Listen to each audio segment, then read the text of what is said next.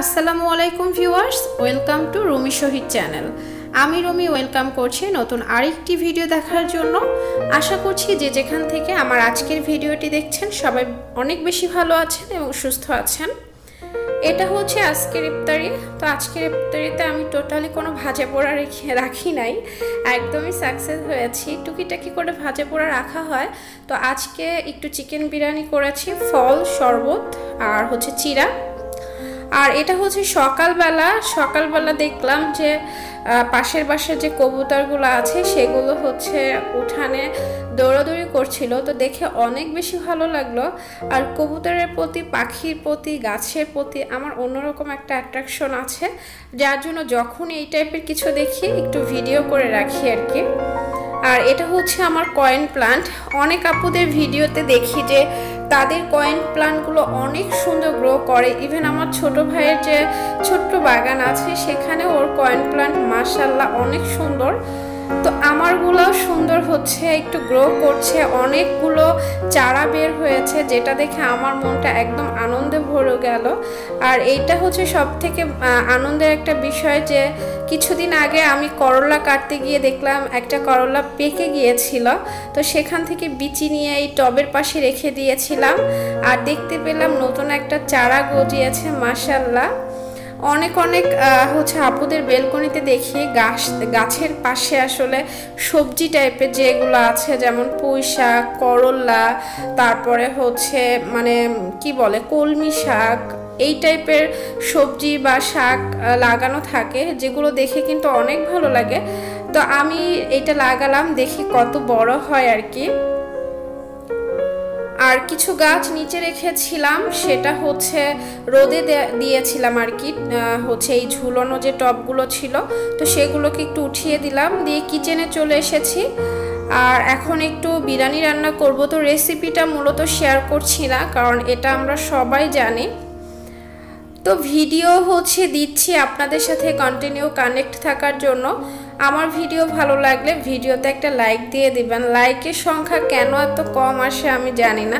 কমেন্টের সংখ্যা কিন্তু অনেক বেশি আসে। সে ততটুকু যদি লাইক আসতো, আসলে একটা লাইক দিয়েই কিন্তু একটা কমেন্ট করা উচিত। তাহলে কিন্তু অনেক বেশি ভালো লাগে। আর আমার ক্ষেত্রে দেখি বা আমার তো যা একটু লাইক হয়, অনেক আপুদের দেখি সেটাও হয় না। কিন্তু এটা করা উচিত না। এটা হচ্ছে আমরা আজকে সেহেরিতে খাব সরি ইফতারি করব হচ্ছে চিকেন বিরিয়ানি আর সেহেরির জন্য আমি এখানে পাবদা মাছ ভুনা করে নিচ্ছি। তো একটু বেগুন ছিল, সেটুকেও আমি, সেটুকুও আর কি আমি অ্যাড করে দিলাম এখানে দিয়ে রান্না করছি। এই কড়াইতে রান্না করছি দেখে আমার হাজব্যান্ড আমাকে প্রশ্ন করছিল যে এটাতে কেন রান্না করছ? আসলে এই এই দস্তা কড়াইটা না অনেক বেশি সুন্দর রান্না করতে গেলে ভালো লাগে। ছোট তো, ছোট অল্প জিনিস এটাতে রান্না করলে ভালোই লাগে।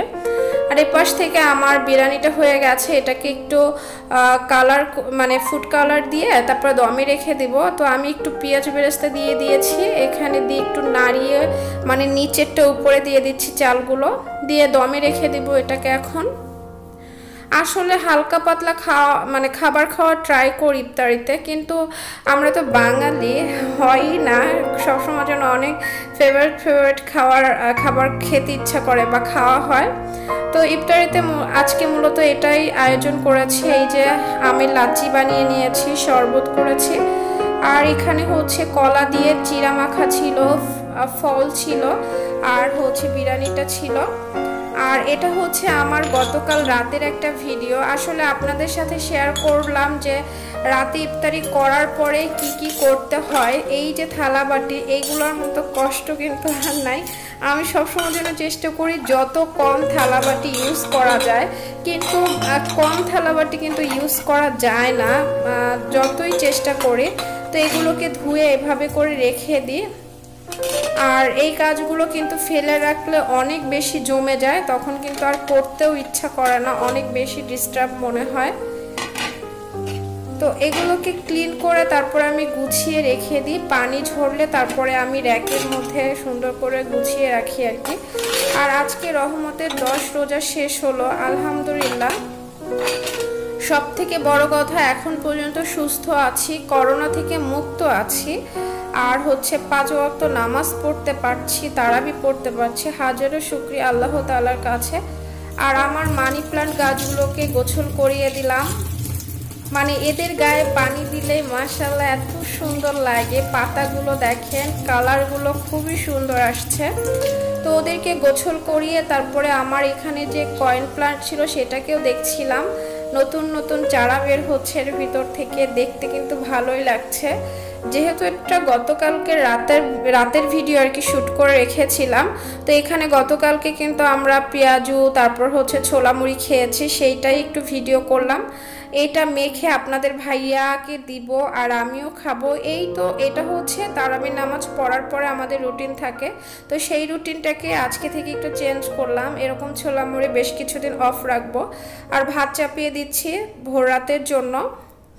এই মূলত কাজ। আর হচ্ছে তারপর আমরা তারাবি নামাজ পড়ে মূলত ছোলা, মুড়ি যা থাকে সেটা খেয়ে ভাত আর খাওয়া হয় না, দুজনে ঘুমিয়ে যায় আর আপনাদের ভাইয়ার কাছে হচ্ছে ভাজা পোড়া অনেক বেশি প্রিয়।